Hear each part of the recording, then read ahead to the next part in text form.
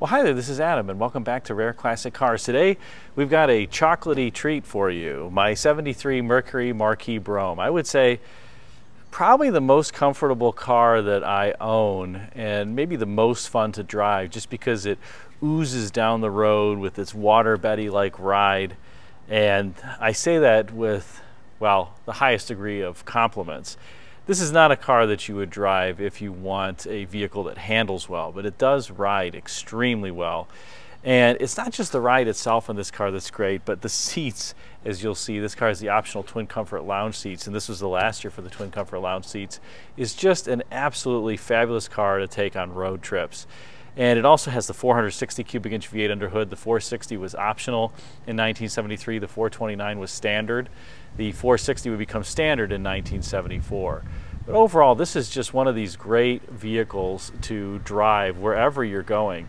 And I have a 74 Marquis, and I'd actually say it probably even rides a little bit better, but it's just a standard Marquis, and by that point, they had done away with these high back twin comfort lounge seats. They had gone to a cheaper solution. And so it's just not quite as great as this. And I think the 460 in this car feels a little bit peppier too than it, does for 1974. And it did have a little bit more power. So I thought we would just talk a little bit about the vehicle and some of its strange features, quirks, and idiosyncrasies because there are a number of them but they're all charming. I have to say, in terms of vehicles that really achieve their mission, this car is at the top of the list. This would have been a car that the road test people and the buff books back at the time really loathed. But I would just contend that they really didn't understand what the mission was. The mission of this car was not to be flying around corners and let's say, going around the racetrack. That was not the mission at all. The mission was really just to soak up the ride and provide an extremely isolated experience for the driver and whatever passengers were in the car. And when it comes to that, this car, honestly, it's a 10 out of 10.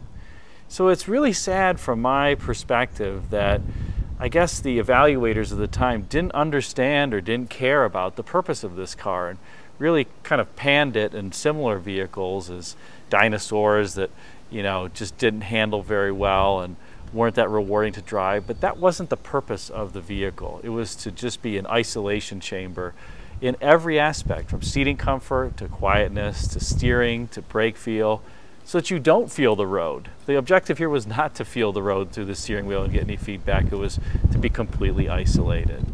In any case let's talk a little bit more and walk around the car about some of these cool, strange features, quirks, idiosyncrasies, etc. All right, well, let's walk around this 73 Marquis Brougham and talk about the wonderful, strange features of this. The first is let's start with the front, and that is this grill, which in 73 was die cast. 72 was plastic, 74 was plastic. For whatever reason, in 73 they decided that they wanted a die cast grill and that year only. So it's going to hold up, whereas some of the earlier and later grills, you'll get chipped teeth on them. 71 grill was also plastic. Again, not quite sure why Mercury decided that this is what they wanted, but they did for that model year and that model year alone. The second thing here is these so-called garage door or hidden headlights, which for 73 went to a dual actuator system. There's one actuator on either side here as opposed to one in the middle that the 71 and 72 had. So this was a more expensive setup. Unfortunately, it's also more failure prone. Let's see if we can take a look under here. This car is from New Mexico, so this is just some sand here. And there you go. There's the actuator. So that's one. There's one on either side.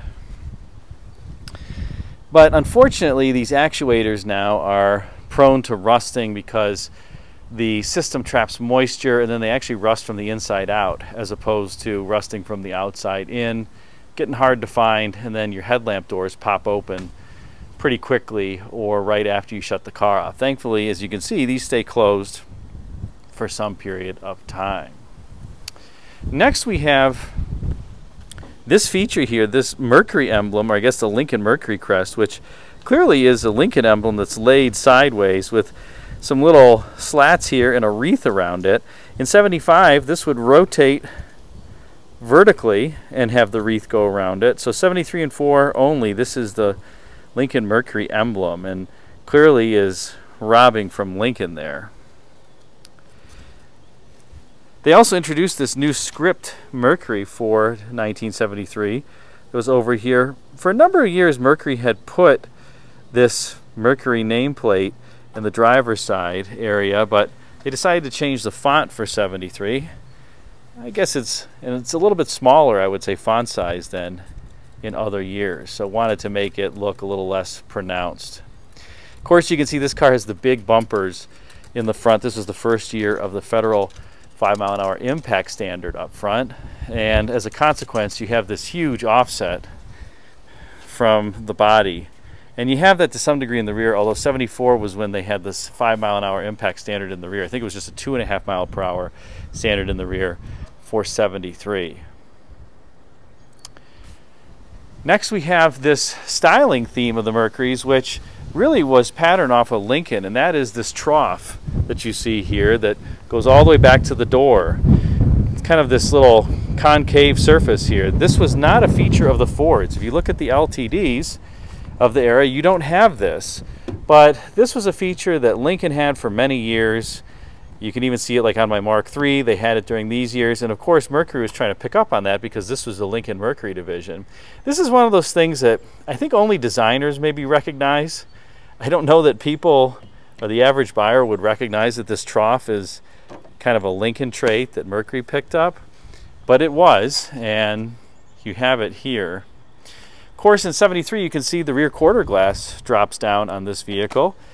Most of the time, these windows aren't working. The torque pins are made of plastic and they've been long since chewed up. But Tony Lawler of Tony's Car Care in Vandalia, Illinois, check out his YouTube channel, Tony's Car Care. And he repaired these, and he's repaired a number of them, which requires taking out the back seat, taking off this trim panel and everything there. And, uh, well, let's just say I leave it to Tony. I think you have to take not only the bottom cushion, you also have to take the top cushion out. Take a look at his channel, and you can see where he's repaired many of my Mercuries. So all the power windows function again. Next on the exterior, we have these wheel covers. These were the standard wheel colors when you got a glamour metallic paint. If you didn't get a glamour metallic paint, you just got kind of a brushed look, unpainted wheel cover. But this is Ginger Glamour Metallic is the name of this color. This was an optional color for 73. And as a consequence, you get the painted wheel colors, sorry, wheel covers, which are very Mercedes-esque, kind of humorous. This car is not trying to emulate a Mercedes at all, but that was a popular trait that various domestic auto companies would pick up on. Even AMC on the 78 Concord, as an example, had these body color wheel covers. Again, patterned off of Mercedes, and Mercedes would lend a few styling cues to domestic auto companies. If you look at some of the early SL convertibles, they have these strakes running down here on the side. Well, Pontiac would pick that up, and that would later become the ribs of the Pontiac. Out rear, you have a one year only rear. And again, as I said, this is 73 before the 74 5 mile an hour impact standard came in. So the rear would change. In 72 and 73, you don't have a trunk lock cover. They costed it out. You just have an open lock cylinder. 74, they go back to the trunk lock cover. So it does look a little pedestrian. You almost want to have your trunk lock cover here, but doesn't exist. And by the way, you kind of see the glamour metallic? Here, it's beautiful metallic color. This is the original paint on this car, thankfully in good condition. And like I said, it was from New Mexico. When I bought it, it was a little sun faded, but it polished right back up, and so did the vinyl top. I mean, the vinyl top is perfect on this car, as you can see here. Now, another feature, notice this little depression in the vinyl top that you're going to see on either side. It's pretty typical of 70s era cars, and that's because this is the joint where the quarter panel meets the roof. And on the vinyl top cars, it wasn't finished. On the non-vinyl top cars, they would metal finish this. So what happens over time, because this is not a padded top, there's no padding under here, it's just firm, is that you kind of get the vinyl top sinking in and this seam becomes more prevalent. And again, that's because that joint was not finished. Eh, it's just one of those little character traits now. Obviously, you have fender skirts in this car, enormous fender skirts, and in true luxury fashion, you have this rocker molding that runs the full length of the car and becomes this pretty prevalent piece here, which this car doesn't have cornering lights, but that's where the cornering light would be. Rocker moldings, for whatever reason, designers thought that that jazzed the car up, and it does. It gives it a little bit of chrome down low. You don't see that anymore. I wish this car didn't have the optional body side molding, but almost all these came with it. I think it would look better without it, but oh well. Can't go back to your Lincoln Mercury dealer and order one any longer. The 73 also was a bit more conventionally styled than the 71 and 2 and the 69 and 70, candidly, when this was introduced. The 69 would be the first year of this body style and it would also have hidden headlights, very beautiful front end. But in 73 they went to this more conventional upper, kind of a stiffer car, not too much surfacing here on the body side. It's got some slight curvature to it. And then you see this what so-called drag section at the bottom here, because if you're a clay modeler, you'd make a template and you just drag it across the clay, forming a surface all the way back. So there's really not much definition to it. And that was pretty characteristic of Ford styling during the era. If you looked at GM cars, even of this era, they had quite a bit of tumble home and uniqueness to the surfacing. And Ford just had a different philosophy for the surfacing. You, it's almost like you make a template and then you drag it all the way across the clay. And once you see that on Ford cars, you compare it to General Motors vehicles, you really can't unsee it. And Fords, of course, were always a bit boxier than the GMs, especially toward the end of Gene Bordinat's tenure, like the Lincoln Mark VI.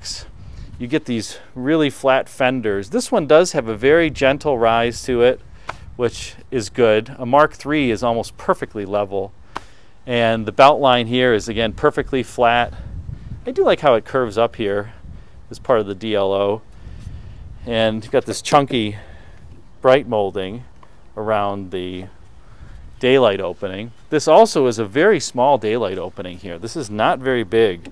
Of all the domestics, I mean, this is probably, I would say, 15 inches wide. Not very wide at all. Of all the domestics, the Ford coupes of this era and the hardtops had the lowest roof lines and the highest belt lines. So very modern day sports car proportions with this squinty greenhouse, almost a chopped roof, raised lower section. Uh, and you don't have that great of visibility as a consequence as you do in other vehicles because of that. You can see the daylight opening is not all that tall in this car. Same with the windshield there's only about a foot from the top of the dash to the top of the headliner. And that was just Ford styling during this time frame. Of course, on the Brougham trims, you got these lions. Somebody corrected me. I thought they were griffins, but they're not. They have tails, so they're clearly lions. Have to symbolize that you got something extra. And turning now to the inside, you have the first year of this new dashboard that was shared between Ford and Mercury and later would be shared by Lincoln in the late 1970s. In 71 and 72, Ford and Mercury would have different dashboards. In 73, they went to this common dashboard. And 73 is the only year with the white index pointer here for the speedometer, the fuel gauge, as well as the shift indicator down here. In 74, it would go to be a reddish orange indicator. And you could tell why. It's kind of blends in overall. But very similar dash. They all had this huge glove box, as you can see here. It did have a little bit different vents and center area. 73 is also a one-year only top pad that has this little radius here. I don't know why they did that only for one year. They changed it in 74 and then kept that new top pad from 74 through 78. 73 is also a one year only door panel, which has this full armrest that is hard plastic on the bottom, unfortunately. It does have a padded portion at the top, but the 71 and 2 door panels were completely soft touch. Still a nice door panel, but a little bit eh, cheaper. Although I do like the ostrich print cloth in here. I think that's pretty sweet. And as I mentioned, you get these high back seats, which are extremely comfortable. I mean, look at this armrest. Why don't they make armrests with padding anymore? Please, if there's any designers or engineers out there, can you please put more padding in your armrests? I hate driving in long distances in new cars because you rest your arm on the armrest and there's like a quarter inch of padding, and after a while, your elbow just is chafing. But this is all padding. There's nothing rigid in this thing at all. So it's great. And of course, you got two armrests as opposed to just one. And this is a cruise control equipped car. You got a separate wheel and a rim blow horn that you pinch the rim and it honks the horn. Unfortunately, this one sometimes works, sometimes doesn't. I got to redo it, but oh well. This also has the 8-track tape player, AM-FM radio. You put your 8-track tape in there, and if you want to change the 8 tracks, you depress the volume knob here. Listen. That's how you change between the 8 tracks. And the rest of the radio functions normally. This car does have a clock that is right twice a day, as is typical. Some people ask me, why don't I fix the clocks in these cars? Uh, well, I, I wear a watch, and it's just not worth... This dashboard is in beautiful condition, and I just hesitate to take it apart, and I really don't care if it tells the time anyway. I usually unhook the batteries too uh, as I store these, so it's just not an element for me that I really care to maintain. I'd rather put the effort into maintaining the rest of the vehicle than the clock. And by the way, you can have the clock rebuilt and then probably stops working another two, three years after you have it rebuilt. In terms of the rest of the interior, you can see, like I said, these windows go down and that would get costed out in 75. They would become fixed windows and they'd also eventually cost out even the rear armrests, which this car has. So Ford got cheap in the mid and late 70s, and that's why I prefer the 73, 74 examples versus the later 70s examples. Let's take a look under hood as well as at the trunk. We'll start with the trunk first, then we'll go under hood. So let's take the keys and examine how big this trunk is. So here we have it, the typical Ford deep well trunk, and it's a deep well because the fuel tank is vertical behind the rear seat there. So you can get all of this room. Some people love this, some people hate it. The lift over is very high. You can see this trunk is very deep. And so if you put groceries in there, you got to stoop down to get it. The upside is you get a heck of a lot of cargo space. Here I've got the original floor mats and then the shoulder belts, which I've taken off because I like to drive with the windows down. And they kind of flap around. And, well, let's just say if you're getting in an accident in this car and you're wearing your lap belt, you're not going to lose. This thing is pretty hefty. And I've even got some spare. Well, these are the original wheel covers back here. They had a few chips. I found an NOS set that I put on the car that look brand new. So just a massive trunk. And Ford would keep this deep well trunk even through the Crown Vics and the town cars and Grand Marquis until the very end. So I guess some people like it. I like it. Let's pop the hood now. and take a look at the optional 460. I think the 460 was ordered on about a third of all the vehicles, these marquees that were built in 1973. The 429 again was standard. Both basically about the same horsepower in the low 200s, but I'll tell you from a torque perspective, you really you don't it feels like this car's got a lot more power.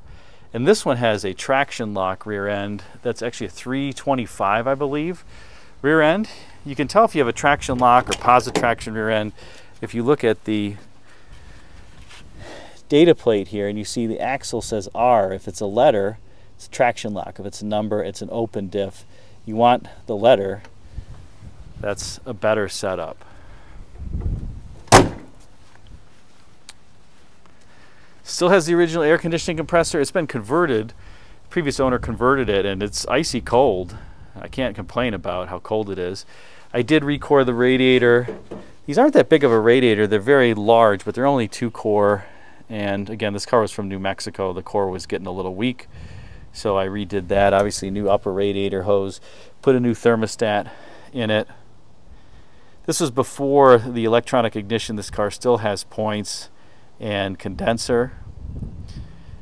Ford would later in 74, they put the electronic box, I think, over there, that big silver box, which was a decent setup. Sometimes those boxes would crap out.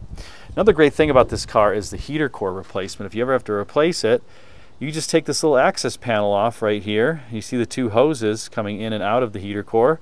Take the access panel off and you take the core right out from there. It's maybe for an average, I'll call it amateur mechanic, a couple hour job, especially if you got power tools to. I always use power tools to undo the sheet metal screws and things, and I usually hand thread them back in just so that I'm not stripping anything. But to take them out, you can use the power tools, and that saves a lot of time. We're also coming to the final years of this two-piston air conditioning compressor before it would become converted. They would start using the GM A6 air conditioning compressor. In 72, Lincoln was using the GM A6, but Mercury is still making do with this. I think it works just fine. I, again, I can't complain. They did improve the capacity of these systems. This is four pounds of R12. In the late 60s, versions, they only took about two and a half, two and three quarter pounds. So the system was getting bigger, but Ford found that, especially on the wagons and in the dark colors, they needed something better, and they went to the GM A6 compressor. It does have a GM Saginaw steering pump, though, so for you Ford lovers who don't like the GMs and piss on the GMs, well, you got a Saginaw steering pump there. Some Fords even have Saginaw steering boxes. And you'd have GM Harrison air conditioning. The Lincolns had that by this time. That's the cruise control servo up there, and you see all these coffee cans or Hi-C juice cans with all the vacuum lines running everything from the HVAC setup to the headlamp doors.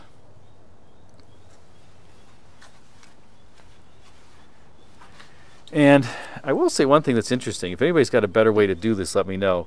See that alternator belt down there is pretty wimpy. It's not very big. It's so small that you can't get it around the fan and you have to take the fan off to get the alternator belt on. If anybody knows a better way, let me know. But I tried on this car, I had to put a new belt on and had to take the fan blades off. Uh, I just thought that was simpler than, well, trying to figure out how to do it otherwise. Maybe, maybe there's some easy way that I just didn't figure out.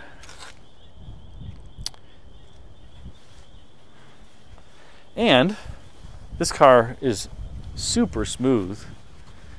Let me put the keys back in and we'll do the reach in start. You do see first year the EGR valve back there. Right there on the carburetor.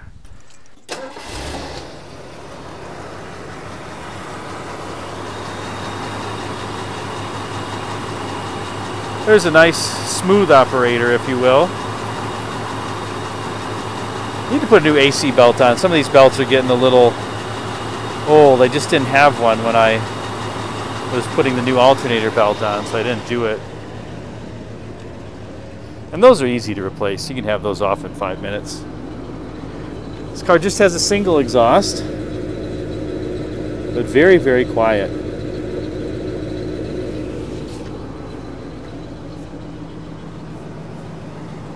You also have, by the way, 73 Ford would go to these door handles that protruded from the body as opposed to being flush with the body. So you also have these door handles, which for 73 Ford would go to a door handle that would protrude from the body versus being flush from the body. Not quite sure why they did that. I guess maybe so you could see it better, but that's what they did. Well, let's close it up and take it for a little ride. Oh, oozy woozy goodness. Oh, I love this car.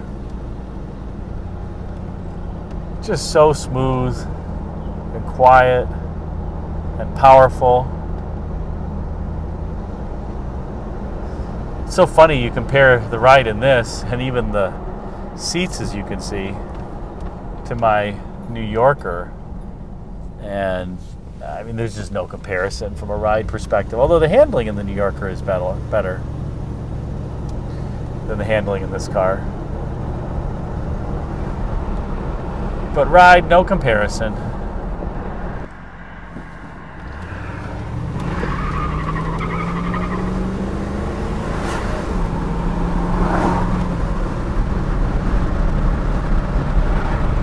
Oh yeah.